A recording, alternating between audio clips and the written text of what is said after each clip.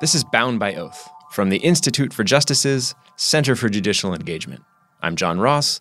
Welcome to episode three of our story of the 14th Amendment, which was ratified after the Civil War to give the federal government the authority to protect civil rights. On this episode, the Privileges or Immunities Clause. No state shall make or enforce any law abridging the privileges or immunities of citizens of the United States. But just what are privileges or immunities? The words privileges and immunities are just a synonym for rights. No state shall make or enforce any law which shall abridge the rights of U.S. citizens. On this episode, we'll talk about what rights the framers of the 14th Amendment had in mind, and we'll witness the clause's near total demise at the hands of the U.S. Supreme Court in 1873 in the slaughterhouse cases. Will you raise your right hand and repeat after me? I, I, I, Clarence Thomas, I, Ruth Bader Ginsburg, do solemnly swear that I will support and defend the Constitution of the United States against all enemies, foreign and domestic, and that I will faithfully and impartially discharge and perform all of the duties all the duties incumbent upon me under the Constitution and laws of the United States. So help me God. Many legal historians believe the 14th Amendment is so important that it should be considered a second founding era. In Abraham Lincoln's words, a new birth of freedom. Some people love to go visit Civil War battlefields. So they go to Gettysburg and they see these places where events of huge consequence flow from the, the clash of arms. The clash of ideas in the 14th Amendment during Reconstruction is far more consequential, uh, I think, uh, than even uh, these Civil War battles. That's Chris Green, a professor at the University of Mississippi School of Law. When we see uh, President Johnson making arguments against equal citizenship for the freedmen. We see the Republicans uh, rebutting those and insisting, yes, indeed, these four millions people are entitled to the same privileges and immunities uh, as are enjoyed by other citizens of the United States. This is a titanic battle. Uh, which makes a difference in uh, the fundamental law to which our office holders are sworn when they're bound uh, by uh, an oath to uh, support and obey the Constitution, the thing that they are bound to are these principles stated in the 14th Amendment. We don't always uh, live up to our principles. Uh, nobody ever lives up to uh, any of their principles perfectly. But however imperfectly we, we've, we've lived up to them, they are our principles, and they really are genuinely attractive, beautiful principles. And what are those principles? Here's the first sentence of the 14th Amendment All persons born or naturalized in the United States and subject to the jurisdiction thereof are citizens of the United States and of the state wherein they reside. If you're born here, you're a citizen, with some exceptions for the children of foreign diplomats and Native Americans. And then there's the second sentence No state shall make or enforce any law which shall abridge the privileges or immunities of citizens of the United States, semicolon, nor shall any state deprive any person of life, liberty, or property without due process of law, semicolon, nor deny to any person within its jurisdiction the equal protection of the laws. That sentence is the beating heart of civil rights litigation in this country. At the Institute for Justice, we rely on it time and again in our cases, and it's the same story for many other civil rights organizations.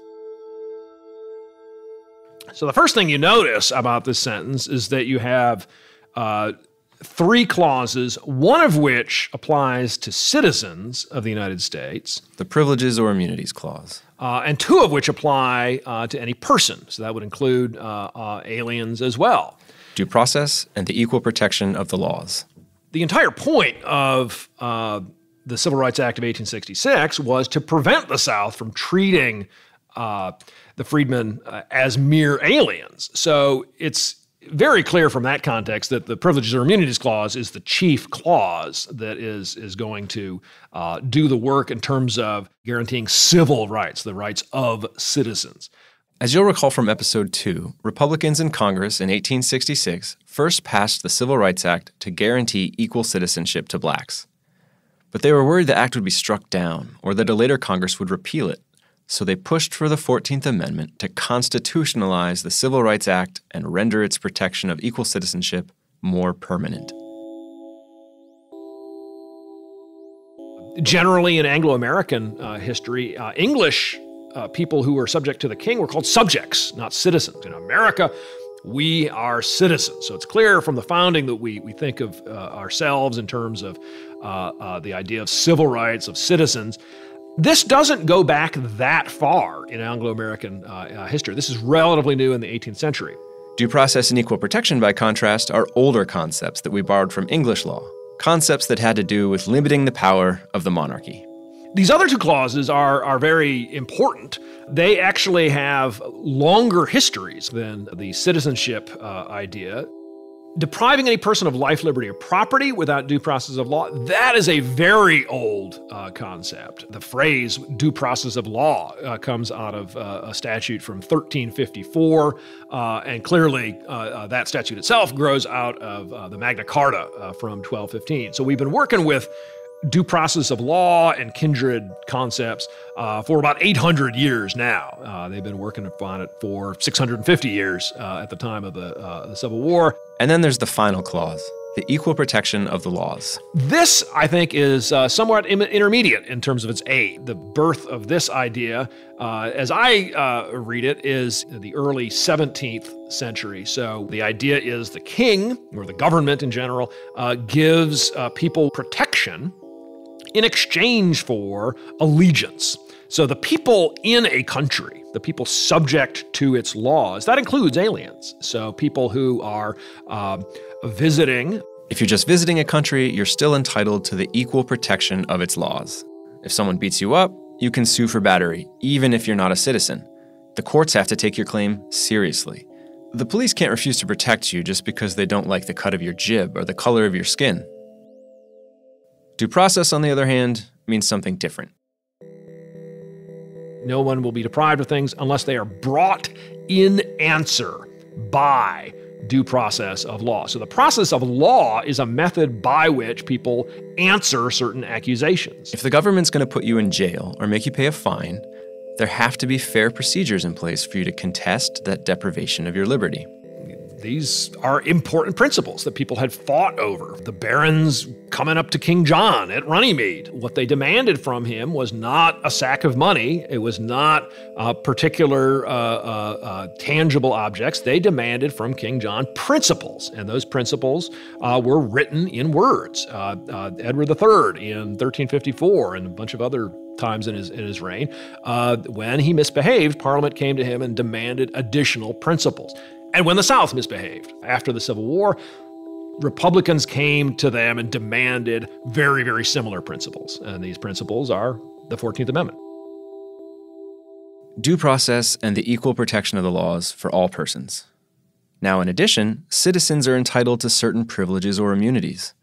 But what did the framers of the 14th Amendment mean by privileges or immunities? I sat down with Professor Randy Barnett of Georgetown Law to hear his take. The first key to understanding the Privilege Immunities Clause is the Civil Rights Act and the relationship between the Civil Rights Act and the 14th Amendment. That's where the impetus for the 14th Amendment came. It came from those who thought that we needed a constitutional amendment because, first of all, the Civil Rights Act might not be constitutional. But secondly, even if it is, when Southern Democrats would come back into Congress, when they're finally seated, they had vowed to repeal the bill. The Civil Rights Act of 1866 said that all citizens had the same rights as white citizens to, quote, make and enforce contracts, to sue, be parties, and give evidence inherit, purchase, lease, sell, hold, and convey real and personal property. Holding property, making contracts, today we would call these economic rights. As we discussed on the last episode, they were widely denied to the freedmen to keep them in as close to a slave like status as possible. The Civil Rights Act was meant to do something about that. After the 14th Amendment was adopted, Congress repassed the Civil Rights Act of 1866 to ensure that it was going to be constitutional. So Congress certainly thought that the rights in the Civil Rights Act of 1866 were protected by the 14th Amendment. So, what are the privileges or immunities of citizens? Well, to start, they're the rights in the Civil Rights Act. And then there's the second key to understanding the clause. The second thing to understand about the Privilege Immunities Clause is Jacob Howard's explanation on the floor of the Senate.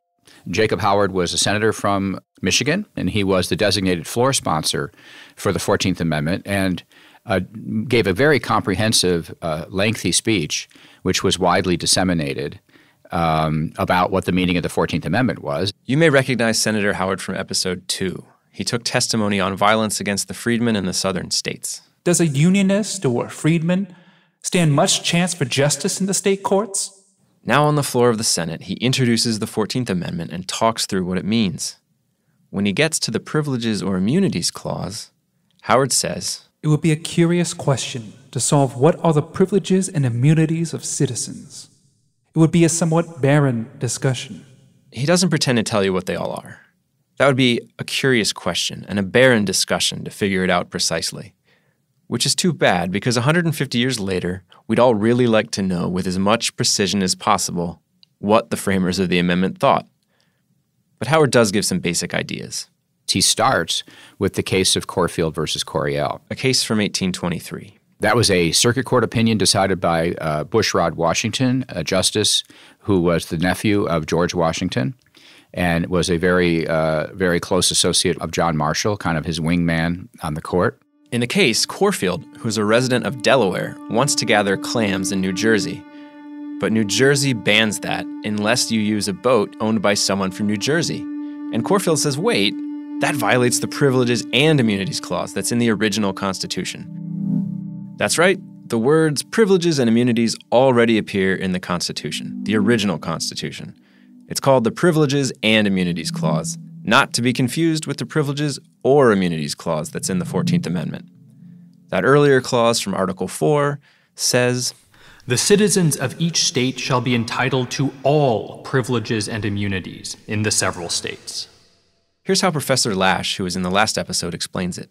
Privileges and immunities under Article 4 of the original Constitution gave um, a certain set of rights, um, equal access to visitors uh, coming from out of state. If uh, a state let its own citizens sell shoes, if a visitor came from another state in the United States and they wanted to sell shoes, well, they should be granted that equal privilege and immunity. It was kind of a way of us treating each other as a family of states and not as foreign countries. But it only granted a degree of equal protection. If a state wanted to deny its own citizens the right to sell shoes, it could also deny visitors from other states the right uh, to sell shoes. It was only if a state uh, secured that right among their own citizens that you would be granted equal access to it if you were visiting from another state. Corfield says he has a right to harvest clams in New Jersey because New Jersey allows its own residents to harvest clams. But he loses. Justice Washington says the right to harvest clams or other natural resources is not one of the privileges and immunities. And that's not outrageous. It can't be right that visitors get all the rights that residents get. People from out of state don't get to vote in local elections. But there are rights, fundamental rights, that Justice Washington says visitors do get. And he goes on to list some of them. What these fundamental principles are, it would perhaps be more tedious than difficult to enumerate. Please go ahead and be tedious. There's a lot riding on this. They may, however, be all comprehended under the following general heads protection by the government, the enjoyment of life and liberty, with the right to acquire and possess property of every kind, and to pursue and obtain happiness and safety subject, nevertheless, to such restraints as the government may justly prescribe for the general good of the whole. Enjoying life, pursuing happiness, and any restriction on freedom needs to be just the right of a citizen of one state to pass through or to reside in any other state for purposes of trade, agriculture, professional pursuits, or otherwise, to claim the benefit of the writ of habeas corpus, to institute and maintain actions of any kind in the courts of the state, to take, hold, and dispose of property, either real or personal, and an exemption from higher taxes or impositions than are paid by other citizens of the state. These and many others which might be mentioned are, strictly speaking, privileges and immunities. On the Senate floor, Jacob Howard quotes the language you just heard from Bushrod Washington's opinion in Corfield. That was what Senator Jacob Howard used as his definition of what privileges or immunities meant in the 14th Amendment. But Howard isn't simply restating rights that were already in the Constitution. There's a big change.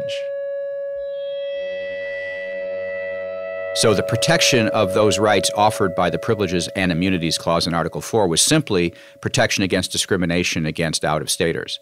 The protection of those same rights offered by the Privileges or Immunities Clause was not limited to lack of discrimination. Now, those protections in the Privileges and Immunities Clause don't just protect visitors, they protect in state residents from their own state governments. Now, states have to respect certain fundamental rights, whether it's selling shoes or owning property for their own citizens. And what are those fundamental rights? As Professor Barnett says, it's the rights Congress spelled out in the Civil Rights Act and those rights in Bushrod Washington's opinion in Corfield. And that's not all. Senator Howard says the Privileges or Immunities Clause protects even more. And then he says to these rights, uh, bec- uh, because they cannot be fully spe- ever be fully specified, should be added the personal guarantees to be found in the first eight amendments of the Constitution. To these privileges and immunities, whatever they may be, for they are not and cannot be fully defined in their entire extent and precise nature. To these should be added the personal rights guaranteed and secured by the first eight amendments of the Constitution. Courtesy of the 14th Amendment, the Bill of Rights now applies to the states, which is a huge deal. Even though we associate the freedoms and protections in the Bill of Rights with the founding era, it wasn't until the 14th Amendment that they could actually be invoked against state and local governments. The great object of the first section of this amendment is, therefore, to restrain the power of the states and compel them at all times to respect these great fundamental guarantees. There's a common theme in the way people talk about this stuff at the time, which is everyone just kind of knows what privileges or immunities are. It would just take too long to list them all. There are the rights that are enumerated in the Bill of Rights, but there are also rights that are not enumerated in the text, so called unenumerated rights. You have a right to enter into a contract to sell corn, but you also have a right to enter into a contract to sell butter. Anybody who starts listing privileges or immunities seems to end up saying, you know what I mean. And for the most part, people seem like they did, and that's the prevailing scholarly view of privileges or immunities today. Most people you talk to agree with Jacob Howard that the clause protects unenumerated rights. Most people, except for federal judges, because in 1873, just five years after the amendment was adopted, the Supreme Court gave the Privileges or Immunities Clause a beating that it still hasn't recovered from. That's coming up after the break.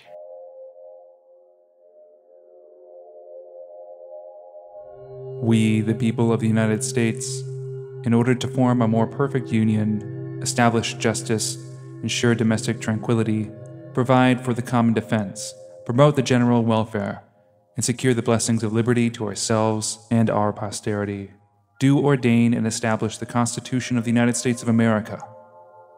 This Constitution shall be the supreme law of the land, the senators and representatives, and the members of the several state legislatures, and all executive and judicial officers, both of the United States and of the several states, shall be bound by oath or affirmation to support this Constitution.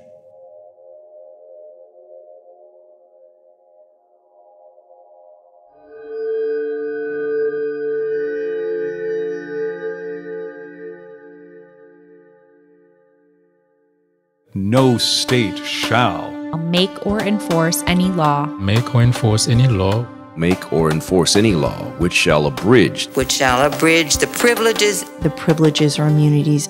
Privileges or immunities. The privileges or immunities. Privileges or immunities. Privileges or immunities. The privileges or immunities of citizens of the United States. Of citizens of the United States. No state shall make or enforce any law which shall abridge the privileges or immunities of citizens of the United States. Now, if you came down to Earth from another planet and you were studying our Constitution, and I read you that, you might think that was pretty important. That's Randy Barnett again. He's giving a talk at the U.S. Supreme Court Historical Society, which you can find on C SPAN. We'll put up a link on shortcircuit.org. No state shall make or enforce any law which shall abridge the privileges or immunities of citizens of the United States. That sounds like a big deal. It should be a big deal. It was to the framers of the 14th Amendment. It was to the millions of Americans who voted to ratify it. But today, for civil rights plaintiffs, for civil rights lawyers, for almost anyone else, it's almost as if the clause does not exist. It has been all but redacted from the text of the Constitution. And that story starts in New Orleans.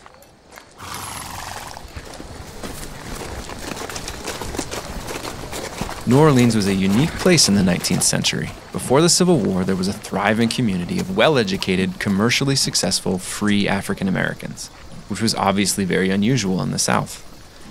When the Civil War ended and Reconstruction arrived, blacks began to serve on juries and on the police force. And African Americans are elected to the state legislature. The House was comprised of 65 Republicans, 35 of which were black, to 36 Democrats. If you missed the last episode, the Democrats are the party of white supremacy during this period. The Republicans are the party of abolition and the force behind the 14th Amendment. The Senate held 23 Republicans, seven of which were black, and 13 Democrats.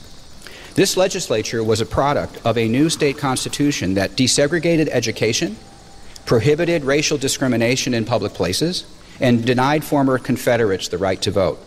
It also included a Bill of Rights, the first in Louisiana history, that voided the black codes, outlawed slavery, and guaranteed trial by jury, the right to assemble peaceably, and the freedom of religion and the press. If there was any place in the South where the soaring ideals of the 14th Amendment had any chance of catching hold, it's New Orleans. But the city was disgusting. The air was filthy, the streets were filthy, the river was filthy. According to historians Ronald Labbé and Jonathan Lurie, New Orleans was far dirtier than other major cities at that time. Eleven epidemics of cholera descended on the Crescent City between 1832 and 1869. Part of that was because of the city's bad infrastructure and a lack of adequate sewers, but a big part of it was because of the city's slaughterhouses. Butchers were notorious for leaving animal carcasses decomposing in the streets or even in their own yards. And when remains were disposed of properly, they went to what was called a nuisance wharf and just dumped into the river, upstream of the city's supply of drinking water. According to a city health officer, the amount of filth thrown into the river above the source from which the city is supplied with water and coming from the slaughterhouses is incredible. Barrels filled with entrails, livers, blood, urine, dung, and other refuse portions in advanced stage of decomposition are being constantly thrown in the river, but a short distance from the banks, poisoning the air with offensive smells and necessarily contaminating the water near the banks for miles. Ugh. And it's not as if the city hadn't tried to clean things up. Although public health advocates had advocated and even enacted health measures as early as the 1820s, political resistance and corruption prevented their effective implementation.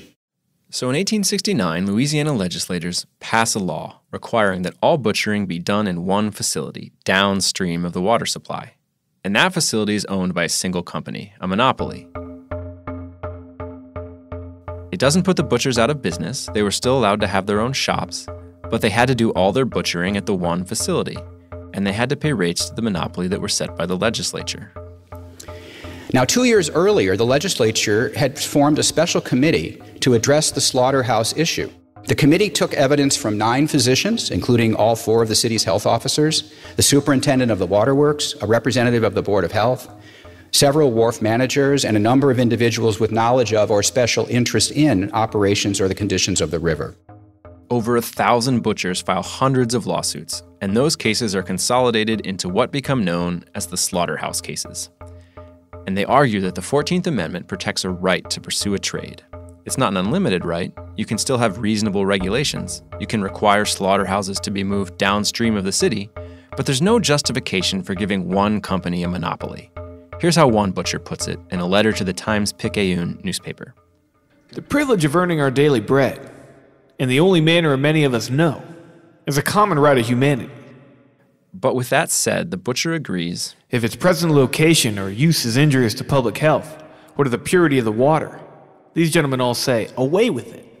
The butchers go out and they hire one of the most prominent attorneys of the time, John Archibald Campbell, a former justice on the U.S. Supreme Court who is now in private practice and arguing multiple cases before the Supreme Court each year. Now, there are a few things to know about John Archibald Campbell. For starters, when he was on the Supreme Court, he sided with the majority in Dred Scott, and he wrote his own concurring opinion that it was up to the states to determine their own laws about slavery. When the Civil War broke out, he resigned from the court. Campbell, an Alabama Democrat, resigned as a justice to return to the Confederacy. There, he was named Assistant Secretary of War by Confederate President Jefferson Davis, a position he held until the end of hostilities. And then he's promptly arrested, and he spent several months in jail because he was suspected of being part of the conspiracy behind the assassination of Abraham Lincoln. Eventually, he's released, and he moves to New Orleans to practice law. Some scholars think that Campbell was still a Confederate in his heart, and that he made it his mission to undermine Reconstruction. According to this narrative, it was Campbell's litigation objective to turn the Republicans' 14th Amendment against the Republicans' program of Reconstruction. Professor Barnett's just describing what other scholars think about Campbell, by the way, not expressing his own view. Anyhow, Campbell also challenged one of the other signature pieces of legislation to come out of the state's Reconstruction legislature a law that banned racial discrimination in bars, hotels, and other places of public accommodation. Indeed, at the very moment Campbell was contending that the 14th Amendment uh, had the broadest possible meaning, he had also filed suit claiming that the newly enacted Louisiana Public Accommodations Law violated the privileges or immunities of New Orleans opera house owners who wished to segregate their black patrons. But here's the thing even as he's doing that, Campbell is also trying to use the 14th Amendment, and specifically the Privileges or Immunities Clause, to overturn a Tennessee law banning interracial marriage. One of his clients was a black Union Army veteran who married a white woman and got sent to the state penitentiary for two years. When he was released, he moved back in with his wife and was promptly rearrested.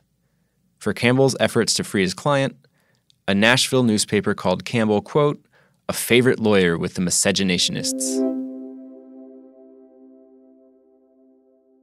Still, it's no small irony that one of the lawyers arguing for a broad reading of the protections of the 14th Amendment was on the wrong side of Dred Scott and much else. And just to pile irony on top of irony, it turns out that one of the lawyers opposing Campbell and defending the slaughterhouse law also has a checkered past. That lawyer was Jeremiah Black. You see, when Andrew Johnson vetoed a series of laws that Congress had passed to protect civil rights, it was Jeremiah Black who drafted one of his veto messages. Then in 1867, Congress passed two Reconstruction bills that abolished all Southern state governments and replaced them with military districts. President Andrew Johnson, a fellow Democrat, called upon Black to draft his veto message on the grounds that both bills unconstitutionally interfered with what the veto message described as the unspeakable blessing of local self government. Those would be the local governments that had reimposed slavery in all but name and turned a blind eye to the Ku Klux Klan.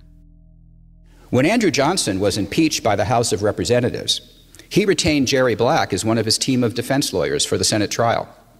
Although he was advised that so ardent a Democrat could hurt his chances before a Republican Senate, Johnson doggedly insisted on keeping Black on the team. Only a conflict of interest caused him eventually to resign before the trial commenced. Why did Louisiana's Republican legislature hire a Democrat who had opposed Reconstruction to argue their case? Why did the Butchers hire John Campbell, also a Democrat, to argue before the Supreme Court, which was full of justices who were Republican appointees?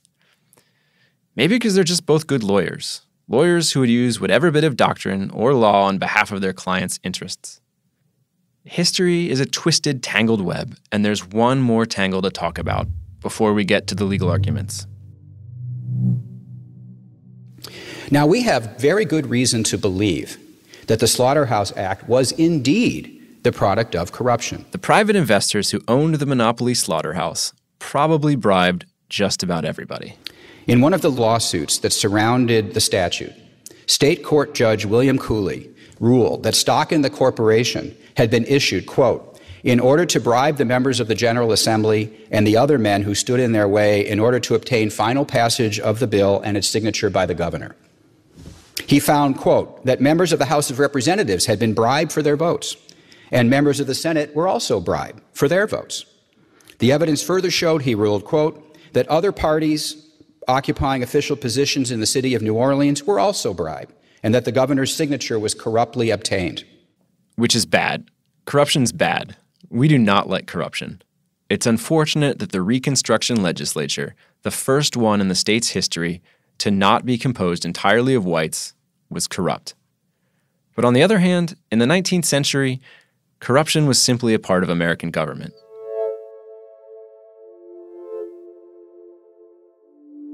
In fairness, corruption of state legislatures and in Congress associated with economic development schemes was commonplace in the 19th and 20th centuries. As Eric Foner has observed, Eric Foner, the elder statesman of Reconstruction scholarship, bribery, fraud, and influence peddling have been endemic to American politics, and nor did the governments in the Reconstruction North offer a model of probity. To sum up, lawyers on both sides conceivably opposed Reconstruction. Also, there's corruption involved, and it's plain the law is going to enrich a handful of private investors and politicians while hurting hundreds of small and independent businesses. But there's also a public health crisis that regularly wipes out huge numbers of people. And maybe, given that the butchers have a history of evading less burdensome sanitation regulation, a monopoly really was the most reasonable regulatory option that was available. Maybe. If the Supreme Court had narrowly focused on that issue, the reasonableness of the regulation, Slaughterhouse would not be the titanically, colossally infamous case that it is. But that's not what the court did. When we come back from the break, the butchers of New Orleans lose big. And so does everybody else.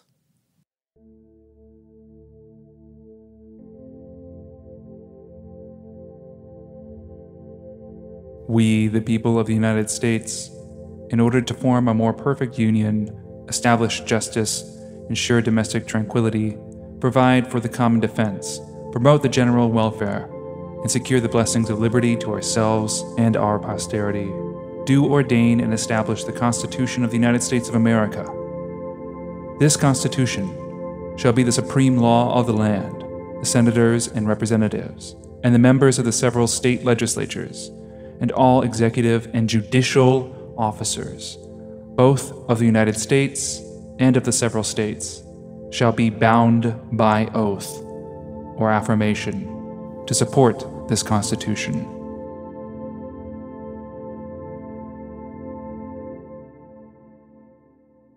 Welcome back. It's 1869. The butchers have sued the state and the monopoly. When they reach the Louisiana Supreme Court, the butchers lose. The court says whether or not the monopoly is reasonable is a matter for legislators and not judges to decide.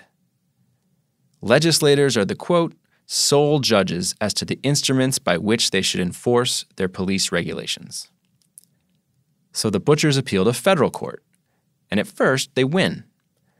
Supreme Court Justice Joseph Bradley, who's riding circuit, rules that while there was nothing improper about forcing the slaughterhouses to relocate downstream of the city's water supply, giving a monopoly to a private company was illegitimate and in violation of the Civil Rights Act and the 14th Amendment, and in particular the Privileges or Immunities Clause. Bradley looked at the Privileges and Immunities Clause in the original Constitution and said that this new privileges or immunities clause in the 14th Amendment protected, quote, much more, including a right to earn a living. These privileges cannot be invaded without sapping the very foundations of Republican government. Any government which deprives its citizens of the right to engage in any lawful pursuit, subject only to reasonable restrictions, is tyrannical and unrepublican. But in a 5 4 decision, the Supreme Court reverses. Justice Samuel Miller, author of the majority opinion, writes that the 14th Amendment was meant to provide a remedy against the black codes. And while it didn't just protect African Americans, the quote, one pervading purpose of the amendment, as well as the 13th and 15th Amendments, was the protection of the newly freed slaves. In the opinion, Justice Miller spends a little time on whether the monopoly was a reasonable restriction.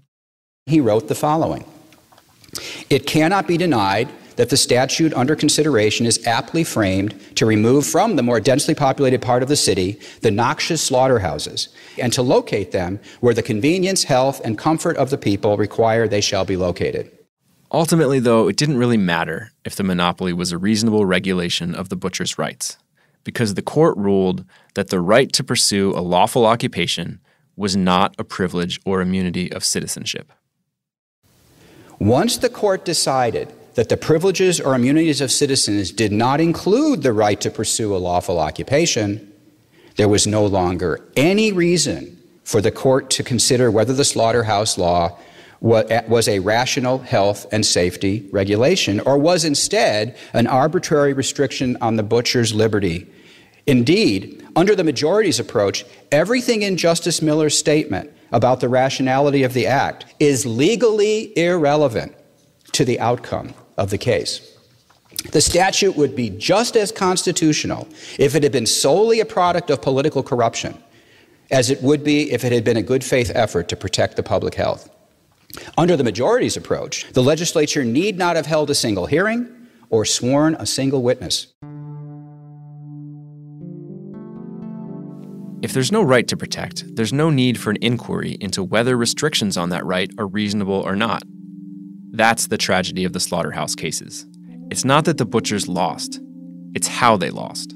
I think the main takeaway is that the 14th Amendment uh, posed a structural threat to a system of federalism that many Republicans and Democrats still valued after the 14th Amendment was enacted. Federalism. It's a key concept in American government the idea that power is carefully divided between different levels of government federal, state, and local, and that the division serves as a check on one level becoming too powerful. Since 1787, the protection of civil rights had been considered the proper domain of state governments, and the source of civil rights was state constitutions. Justice Miller writes that if the butcher's interpretation had won the day, the effect is to fetter and degrade the state governments by subjecting them to the control of Congress in the exercise of powers heretofore universally conceded to them. It radically changes the whole theory of the relations of the state and federal governments to each other and of both of these governments to the people. Miller and the rest of the majority say that if the framers of the amendment had really meant to transfer all of this power to the federal government, they would have been a lot more clear about it. They don't really fully agree with the 14th Amendment and try to figure out a way to limit its scope uh, limited scope to rights that couldn't possibly have been the reason why the 14th Amendment had been enacted, such as the right to have one's life, liberty, or property protected while traveling on the high seas. What the majority settles on is this Instead of radically altering the Constitution, the Privileges or Immunities Clause instead protects rights that, quote, owe their existence to the federal government, its national character, or its laws. Civil rights flow from state citizenship, so those are out. Instead, Miller makes a list of what he thinks the clause does protect a list of rights that flow from national citizenship. And those rights are to come to the seat of government to assert any claim he may have, to seek its protection, free access to seaports, to the sub treasuries, land offices, and courts of justice in the several states, to demand the care and protection of the federal government when on the high seas, to peaceably assemble and the right to use the navigable waters of the United States. And that list has been widely mocked ever since. The country had just fought a civil war, and the fight to ratify the 14th Amendment nearly started a second civil war. There's just no way people had fought for a right to come to the seat of government and assert claims, as important as that might be. It's ridiculous to say that we fought a civil war over, uh, over you know, the right to access sub treasuries. That's Sheldon Gilbert from episode one. What the heck is the subtreasury anyway? We looked it up. They don't exist anymore. Here's Josh Blackman, a law professor at the South Texas College of Law in Houston. We didn't fight a civil war for access to the subtreasuries. We didn't ratify an amendment so that people in the high seas are being protected. Um, this is a rare decision where left, right, and center people agree this was wrongly decided. Uh, there are a few scholars who defend it. Uh, but the overwhelming majority, the consensus, is that this did not get the 14th Amendment correct. I think we can agree that it was wrongly decided. And I don't necessarily agree with the entirety or most of Justice Thomas's judicial philosophy, but I do agree with his critique of Slaughterhouse. Supreme Court Justice Clarence Thomas says Slaughterhouse was wrong. Professor Francois from the last episode, who agrees with Thomas on virtually nothing, does agree with him on that. This is a severe cutting back or limitation on the applicability of the 14th Amendment's um, provisions to um, the circumstances of most former slaves um, who are creatures, if you will, of state law, as are all Americans, much more so than federal law in this period. And that's Martha Jones, who was also in episode one. We can think of Slaughterhouse as um, the beginning of a story that takes us all the way to Plessy versus Ferguson um, at the end of the 19th century. There are some scholars who defend the ruling. One of them is Professor Kurt Lash. I believe that Justice Miller, in his conclusion and in some of his reasoning, um, was not far from the truth. But I am an outlier and I recognize that I'm an outlier. Kurt's a smart guy. We like Kurt. We don't have the time to properly explore his views. But the short version is that he thinks the Privileges or Immunities Clause was only meant to protect rights enumerated in the Bill of Rights. But anyway, nearly everyone thinks the decision is wrong, including the four justices who dissent from Justice Miller's opinion. One of them is Justice Bradley. In my judgment, the right of any citizen to follow whatever lawful employment he chooses to adopt, submitting himself to all lawful regulations, is one of his most valuable rights and one which the legislature of a state cannot invade, whether restrained by its own constitution or not. Justice Stephen Field writes what is probably the most famous dissent, where he accuses the majority of rendering the Privileges or Immunities Clause a vain and idle enactment which accomplished nothing and most unnecessarily excited Congress and the people on its passage. By and large, what the dissent was saying is that the majority has read the Privileges and or Immunities Clause out of the Constitution, and the dissent proved to be right about that. If you're a lawyer today, or a lawyer 100 years ago, and you're trying to bring a civil rights case against a state or local law, the clause may as well not exist. And that's because it's not just the butchers who tried and failed to use the clause to protect their rights. The very next day, after the Supreme Court released its opinion in Slaughterhouse, it released another opinion, in which a woman tried to use the clause to protect her right to earn a living as a lawyer. That went worse. My client, Myra Bradwell, seeks the privilege of appearing any day before the courts of Illinois. That, of course, is Supreme Court Justice Ruth Bader Ginsburg at a mock hearing on the case, put on by Georgetown Law School. Justice Ginsburg played the part of the lawyer for Myra Bradwell. We cut it a bit. The full version is on shortcircuit.org. She is of the proper age, of good moral character, and she has performed successfully on the bar examination. She runs a highly prized law journal, the Chicago Legal News, and legions of lawyers depend on that publication to stay au courant with developments in the law. Justice Ginsburg argues that Illinois is violating the Privileges or Immunities Clause, as well as the Equal Protection Clause, by not allowing a woman who is clearly qualified to be a lawyer. In all candor, I must say that the Constitution had, until 1868, nothing to support Myra Bradwell's claim, and our case rests on the 14th Amendment, in particular, two clauses in it. No state shall make or enforce any law which shall abridge the privileges and immunities of the citizens of the United States. Nor shall any state deny to any person the equal protection of the laws. Illinois' refusal to admit Myra Bradwell to the practice of the law violates both commands.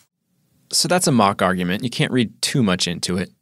Justice Ginsburg said the Privileges or Immunities Clause forbids discrimination on the basis of sex. Maybe she would say the monopoly in slaughterhouse was reasonable because it applied equally to male and female butchers. I don't want to put words in her mouth. The key point is that starting with slaughterhouse and continuing virtually unbroken to this day, when plaintiffs have sought to use the clause to overturn state and local laws, the Supreme Court has ruled against them. And that's what happened to Myra Bradwell. But unlike the slaughterhouse cases, which was decided 5 to 4, Bradwell loses by a vote of 8 to 1. Writing for the majority, Justice Miller tersely dismissed her challenge. Quote, the opinion just delivered in the slaughterhouse cases, he wrote, renders elaborate argument in the present case unnecessary. Justice Miller felt no need whatsoever to justify this outcome by reciting any reasonable basis for Myra Bradwell's exclusion. Justice Bradley, on the other hand, he ruled for the butchers, and he thought that the right to practice a trade was protected. And not only protected, but that, quote, there is no more sacred right of citizenship than the right to pursue unmolested a lawful employment in a lawful manner. So when he and two other justices ruled for the butchers, but against Myra Bradwell's right to practice a trade, they had to give reasons. The dissenters in Slaughterhouse, however, had a different burden. When three of the four dissenters sided with the majority in Bradwell, their approach to the Privileges or Immunities Clause required them to explain why such a restriction on Bradwell's pursuit of a lawful occupation was not arbitrary. And so Justice Bradley writes this notorious concurring opinion, giving his reasons, which were, among other things, that women belong in the home. The natural and proper timidity and delicacy which belongs to the female sex evidently unfits it for many of the occupations of civil life. Which is wrong, but it does turn out to be useful. But at least the approach of the dissenters in the slaughterhouse forced Justice Bradley to articulate the basis for restricting this right before finding it to be constitutional. And this articulation helped feminists object to and very, very soon thereafter defeat such restrictions. Reasons matter. If a court rules that a restriction is justified based on particular facts, future litigants can prove those facts don't exist or don't apply to them. But if a court rules that a restriction doesn't need to be justified by a reason, future litigants are out of luck. It's the difference between a court saying that this restriction is okay and a court effectively saying that any restriction would be okay. Of course, there's one justice who dissented in both Slaughterhouse and Bradwell, and it's a great loss that he didn't write an opinion explaining his reasons for dissenting. One dissenter in Slaughterhouse also voted to invalidate the Illinois restriction on the right of women to practice law. That dissenter was Chief Justice Salmon Chase. By the time of this decision, Chase was too incapacitated by a series of strokes to write a dissent. Indeed, he died a mere three weeks after the decisions in Slaughterhouse and Bradwell were announced. Slaughterhouse and Bradwell put the Supreme Court on a path that we're still on today, where the Privileges or Immunities Clause is essentially not a part of the Constitution. The clause has come up a couple of times at the Supreme Court in modern years, but that's obviously a far cry from what it was meant to do. Ultimately, Slaughterhouse and Bradwell stand for the idea that the clause does not protect unenumerated rights. But soon after those cases, the Supreme Court ruled that the clause does not even protect rights that are enumerated in the Bill of Rights. In that case, the Cruikshank case, the Supreme Court confronted what Justice Miller wrote in Slaughterhouse was the one pervading purpose of the Reconstruction Amendments the protection of the lives and rights of African Americans. In Cruikshank, a mob of white Democrats murdered 60 to 150 black Republicans who had barricaded themselves inside a courthouse in Colfax, Louisiana. Louisiana authorities did nothing, so the federal government stepped in and eventually convicted three white men of conspiring to violate the victims' First and Second Amendment rights to peaceably assemble and to bear arms. But in 1876, the Supreme Court struck those convictions down and ruled that the Privileges or Immunities Clause, as well as other sections of the 14th Amendment, did not apply. The ruling set off a wave of coordinated terrorist violence against African Americans and laid the groundwork for Jim Crow.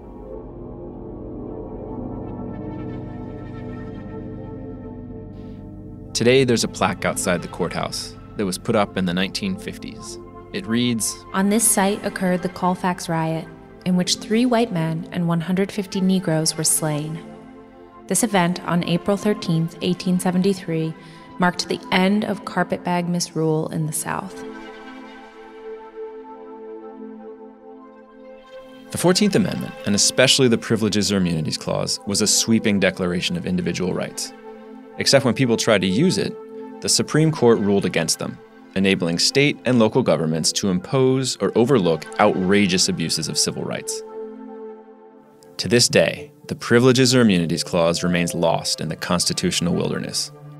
In the next episode, we'll go searching for the clause in the literal wilderness of the Pacific Cascades Mountains in north central Washington.